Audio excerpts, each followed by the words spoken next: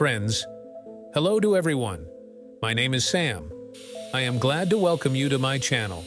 Today, I want to do an experiment in my workshop. I have long wanted to check whether it is possible to weld thin metal without special equipment. And now, the time has come. To find out, and you will see what I end up with in this video. Don't be shy and share your opinion in the comments.